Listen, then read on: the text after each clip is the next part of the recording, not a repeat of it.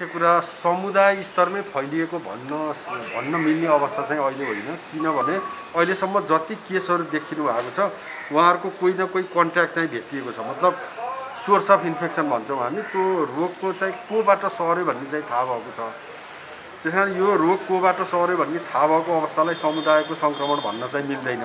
समुदायको सङ्क्रमण हुनको लागि कोही मान्छेलाई रोग कहाँबाट सर्यो कहाँबाट सर्यो थाहा पाइन भन्ने अवस्था। त्यस कारण त्यो अवस्थामा अहिले म्याग्दी पुगेको होइन।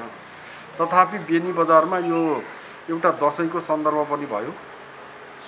मान्छेको आवत जावत एकदम धेरै भएको अवस्था पनि भयो।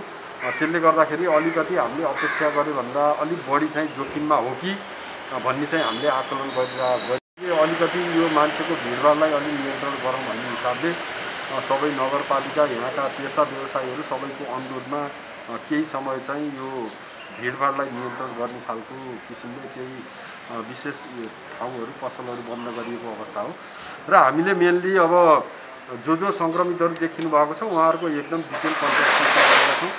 ट्रेसिङमा परेका मान्छेहरूलाई क्वारेन्टाइनमा राखेका छौँ र आवश्यकताका आधारमा परीक्षणहरू चाहिँ भइरहेको छ।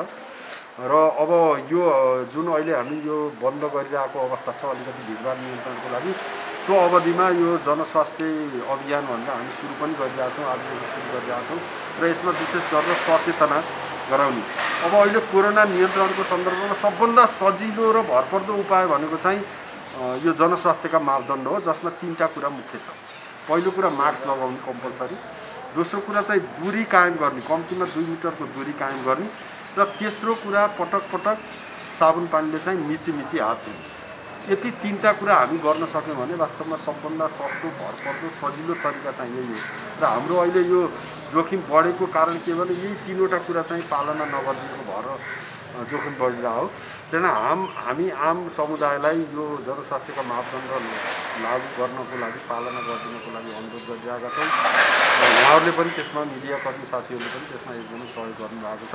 र हामी स्पेसल्ली स्वास्थ्य कार्यालयको के छ त भन्दा केमा फोकस जो सङ्क्रमित भेटिनुहुन्छ उहाँको कन्ट्याक्ट ट्रेसिङ गर्छौँ।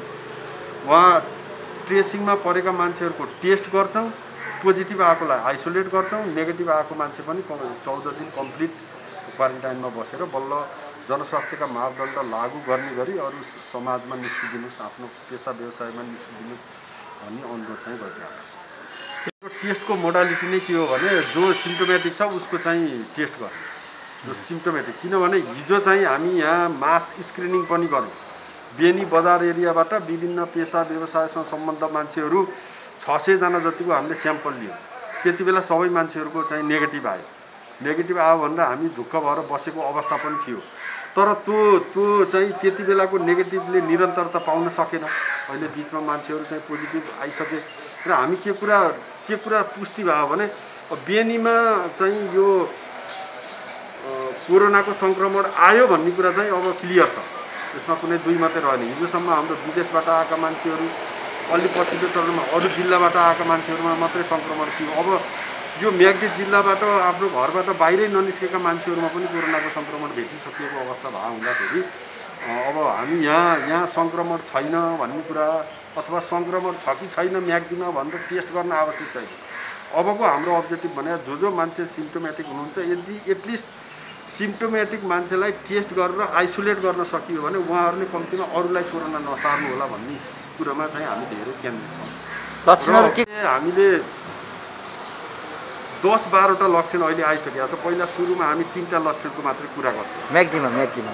म्याग्दीमा पनि धेरै लक्षणहरू देखिरहेको छ होइन? पहिला हामीले चाहिँ खोकी लाग्नु सुक्खा खोकी लाग्नु ज्वरो आउनु र सास फेर्न गाह्रो हुने भन्छौँ ज्वरो पनि एक सय पोइन्ट चार डिग्री सेल्सियसभन्दा बढी आएको सास फेर्न गाह्रो भएको र सुक्खा खोकी लागेकोलाई भन्छौँ हामी। तर अहिले पछिल्लो चरणमा यो बाहेक टाउको दुख्ने जिउ दुख्ने गन्ध थाहा नपाउने अनि यो जिब्रोले चाहिँ खानाको अथवा अरू चिजहरूको स्वाद थाहा नपाउने कतिपय मान्छेहरूलाई यो जोर्नीहरू दुख्ने भखलाहरू लाग्ने होइन? यस्ता थुप्रै लक्षणहरू देखिरहेछ।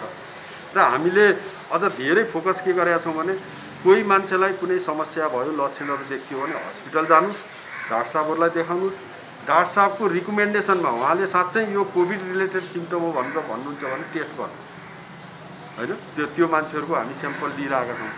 त्यसले गर्दाखेरि पनि हामीले धेरै जसो यो लक्षण चिन्ह देखिएका मान्छेहरूको स्याम्पल लिइरहेको अवस्था पनि हो त्यो भएर अलि सिम्टोमेटिक केसहरू जसलाई हामी त्यसरी ल्याएको छौँ ती मान्छेहरूमा धेरै पोजिटिभिटी रेट चाहिँ धेरै देखिएको छ। पोजिटिभ रेट चाहिँ धेरै। एकदम सुन्दर कुरा उठाउनु भयो शिवजीले। एक घर एक पिसिआर भन्ने कुरा आइरहेछ। मेनली पिसिआर भनेको के हो भने एउटा व्यक्तिमा भाइरस छ कि छैन भनेर हेर्ने टेक्नोलोजी होइन? त्यस कारण म ममा भाइरस छ कि छैन भनेर यो पिसिआर भनेको व्यक्ति सेन्सिटिभ कुरा हो के? घर सेन्सिटिभ होइन होइन? अब मलाई मेरो घरमा हाम्रो छजनाको परिवार छ। मलाई जाँच गरेर मेरो श्रीमतीको यो नेगेटिभ छ मेरो छोरा नेगेटिभ छ भनेर भन्नु त मिल्दैन होला नि। होइन?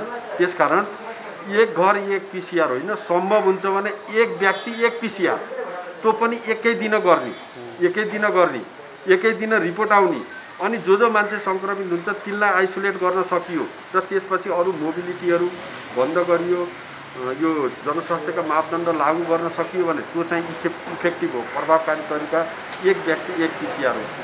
त्यहाँ एक घर एक पिसिआर गर्दाखेरि चाहिँ हामी धेरै भ्रममा पर्न सक्छौँ। किनभने घरको मुली एउटाको मान्छेको स्याम्पल लिन्छौँ ऊ नेगेटिभ होला अरू घरका परिवार सबै पोजिटिभ होला।